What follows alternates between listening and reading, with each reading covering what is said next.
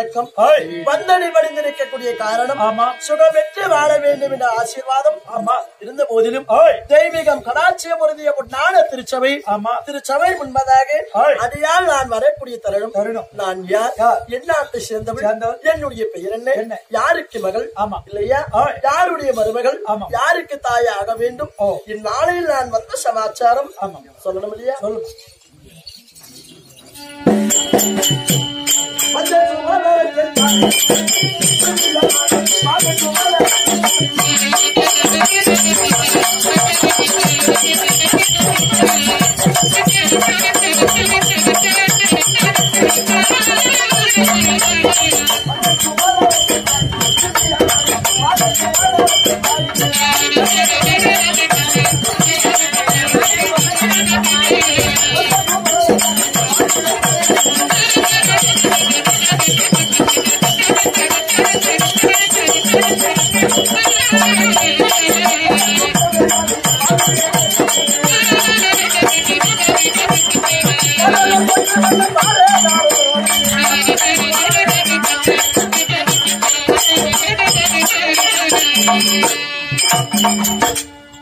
அப்படி இருந்த போதும் ஆமா என்னுடைய பெயர் என்ன தெரியுமா அதாவது ஓ என்னுடைய தந்தையார் ஆமா. வசுதேவர் மூர்த்திக்கும் எனக்கு தாய் இரண்டு பேர் ஆமா இல்லையா.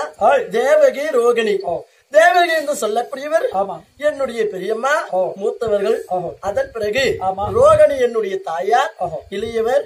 இல்லையா. அப்படி ரோகிணி அம்மையாருக்கும் வசுதேவருக்கும் பிறந்தபடியால். என்னுடைய பெயர் சுபதரை. அப்படி சுமதரை என்று சொன்னேன் ஆமா எனக்கு சுமதரை என்று எப்படி பெயர் வந்தது அதாவது. என்னுடைய ஆமா. இல்லையா. தாய் மாமனாகப்பட்டவர் ஆமா ஆதி நாளையில் ஓஹோ. என்னுடைய தாய் தந்தைக்கு திருமணம் செய்து. சிறிது நாட்கள் சுகமாக இருந்த பிறகு ஆமா அதன் பிறகு. என்னவானது ஆமா. அதாவது. காட்டிற்கு செல்லும் பொழுது ஆமா. காடகத்தை பார்க்க புறப்படும் பொழுது. என்னுடைய தாயார் என்ன செய்தார். என்னுடைய. மூத்த தாயார் தேவகி அம்மா பார்த்தாங்க Hey, all right. ஒரு மாமரத்தில். வடதிசை பார்த்தால் போல் ஒரு மாமரம். அந்த மாமரத்தில் ஒரே ஒரு மா கிளை. அதில் ஒரே ஒரு மாங்கனி இருக்கிறது. பேர்க்கப்பட்ட கனியை புசிக்க வேண்டும் என்று சொல்லி. அண்ணா அந்த கனியை எனக்கு அடுத்து தர வேண்டும் என்று கேட்டார். அதற்கு. என்னுடைய தாயார் பெரியம்மா தேவகி சொன்னாங்க. அண்ணா. கனியை அடுத்து யார் மடியில் விழுந்தாலும் சரி. அனைவரும் புசித்து உண்ணலாம் ஆமா. அனைவரும் பங்கிட்டு சாப்பிடலாம் என்று சொன்னவுடனே. அதுக்கு என்னுடைய தாயார் ஒப்புக்கொள்ளவில்லை ஓஹோ. அண்ணா. யார் மடியில் கனி விழுகிறதோ. அவர் தான் அந்த கனியை புசிக்கணும் ஆமா யாருக்கு விழுதோ அவர்களுக்கு தான் கனி சொந்தம் என்று சொன்னவுடனே ஓஹோ. கனியை அறுத்தார். என்னுடைய பெரியம்மா. தேவகனுடைய மடியில் விழுந்தது. கனியாகப்பட்டது. அவர்களுக்கு சொந்தமானது. அப்படி சொந்தமான பிறகு அப்படி கனியை புசித்து. இல்லையா அந்த கனியாகப்பட்டதின் வாயிலாக. கருவாகப்பட்டது ஜெனித்தது என்னுடைய பெரியம்மாவுக்கு. அப்படி ஜெனித்த உடனே பார்த்தார். அதாவது. யார் தெரியுமா? பருத்த வரிசையாகப்பட்டவர் பார்த்தார் ஆமா இந்த கனியாகப்பட்டது ஆய். சிவபெருமானுக்கென்று ஏற்ற கனி ஓ. இந்த கனியை தினந்தோறும் நாம் சிவபூஜை முடித்துவிட்டு ஆமா ச- ஓம் என்று உரைத்ததே ஆனால் ஆனால் அந்திரமாக கையில் வந்து விழும். அதன் பிறகு சிவபெருமானுக்கு படைத்த பிறகுதான் நாம சாப்பிடுவோம். ஆனால் இந்நாளில் கனி வரவில்லையே என்ன காரணம் என்று. ஞானத்தில் பார்த்தால். கனி யாரோ அறுத்திருப்பது தெரிய வந்தது. அப்பொழுது. என்னுடைய மாமாவிடம் கேட்டார் ஆமா. என்னுடைய சிறிய தாயிடம் கேட்டார். இருவரும் மறுத்தார்கள். கனி அறுக்க கிடையாது என்று. பொய் சொன்னார்கள் ஆமா. ஆனா என்னுடைய பெரியம்மா பொய் சொல்ல கிடையாது சாமி பாசமாய் அக்கடியை பாவையால் அறுக்க சொன்னேன். அது பரமிற்கு ஏற்றது என்று. இந்த அறியலானேன் ஓஹோ. கரிய அறுக்க சொன்னது நானே. அதை புசித்ததும் நானே. என்று என்னுடைய பெரியம்மா சொல்ல. அதன் பிறகு என்னவானது. அதாவது. அடே கம்சமன்னா ஆமா. இல்லையா. என்னுடைய தாய் மாமனுடைய பெயர் கம்ச பூபாலா ஓஹோ. அதாவது ஆ. உன்னுடைய தங்கை வயிற்றிலிருந்து பிறக்கக்கூடிய ஏழு குழந்தையால் அழிவு கிடையாது. எட்டாவது குழந்தையால் கட்டாய மரணம் சாபம் என்று சொல்லி ஓஹோ. ஆதி நாளையில் சாபத்தை பெற்றார் மாமன். சாபத்தை பெற்றவுடனே. கணவன் மனைவி இருவரும் சேர்ந்தாதான் பிள்ளை பிறக்க முடியும் என்று. ஆளுக்கு ஒரு சிறையில் அடைத்திருந்தார் ஓஹோ. அதன் பிறகு. அண்ணன் கண்ணன் பிறந்தார். கம்சனை வதைத்தார். கம்சனை வதைத்த பிறகு. என்னவான தெரியுமா. எங்க என்னுடைய தாய் தந்தைக்கு. கைவிலங்கு கால் விலங்கு சிறையிட்டு அடைத்திருந்தார் ஓஹோ. அந்த சிறையில் இருந்து. விடுபட்டு சிறிது நாட்கள். வந்து சந்தோஷமாய் எங்களுடைய நாட்டிலே. என்னுடைய தாய் தந்தையர்கள் இருந்தார். அப்படி ஆய். சந்தோஷமா என்ன ஓஹோ. சுகமாய் இருக்கக்கூடிய நேரம். அப்படி சுகமாய் இருக்கக்கூடிய நேரத்தில். நான் பிறந்தபடியால் ஆமா. எனக்கு என்ன பேரு சுபத்திரை. இல்லையா. அப்படி சுபதரியா இருந்தாலும். என்னை எப்படி வளர்த்தார்கள். என்னுடைய அபிநயம் எப்படி உங்களுக்கு தெரியுமா மண்ணாலே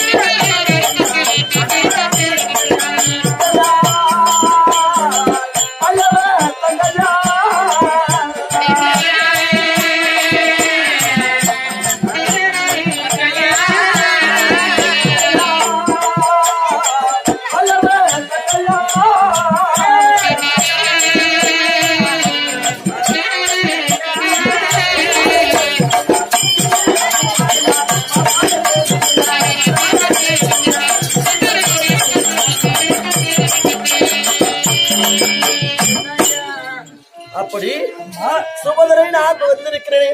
ஒரு பெண்ணாய் பிறந்தால். ஏழு பருவம் ஆமா. பேதை பெதுமை மங்கை மடந்த அறிவை தெளிவை பேரிடம் என்று சொல்லக்கூடிய. ஏழு பருவத்தில். மங்கை பருவம் அனைத்துடனே ஆமா. ஒரு பொட்ட பிள்ளைகளுக்கு பிறந்து விடு சதமா கிடையாது. கிடையாது ஆமா. ஒரு நாளையில்லை ஒரு நாளையாவது.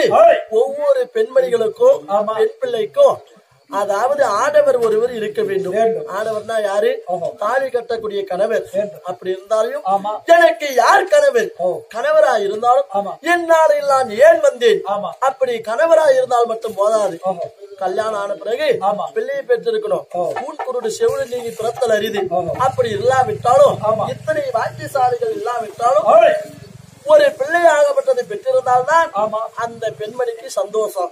இல்லனா பார்க்கக்கூடிய சமுதாயமும் பார்க்கக்கூடியவர்களும் கேவலமாய் பேசுவார். முட்டி என்றோ மலடி என்றோ அப்பேற்பட்ட ஈன சொல்லுக்கு நான் ஆளாக கிடையாது. எனக்கு யார் அண்ணன்? என்னுடைய கணவர் யார்? என்னுடைய பிள்ளை யார்? உனக்கு தெரியுமா?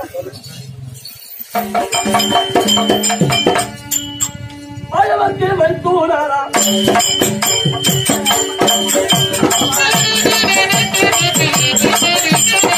Oh,